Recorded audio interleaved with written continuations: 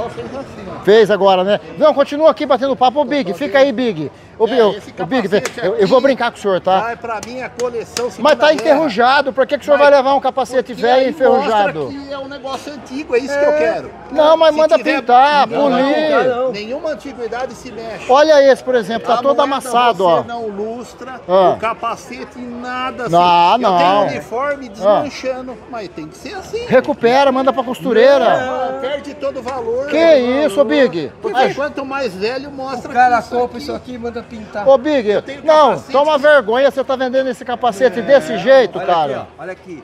Ah, O que é isso aqui? não, não, eu não sei o que, que é isso aí. capacete. É o S1 esse? tenho O capacete, S1, tudo. perte... ah, é, ele rendia parada. amarelo, ó. Tá Rende- vendo? Eita, rendia. Isso aqui que vai.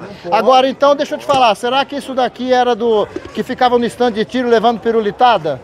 Eu acho que isso aqui Era, provavelmente. Sabe o que é isso, né, chefe? um O cara tinha um pirulito que ficava batendo, Não, pode ser.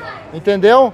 Pode ser. Ó, separa mais esse. Já que ele pegou, eu vou levar mais. Esse daí é do pirulito, certeza. Mas o senhor vai mandar reformar, né? Não, se reforma, coisa Não, antiga não, não se reforma. A não ser que é um carro, algumas coisas, claro. né? É, Mas a antiguidade, quanto mais próximo do original, melhor.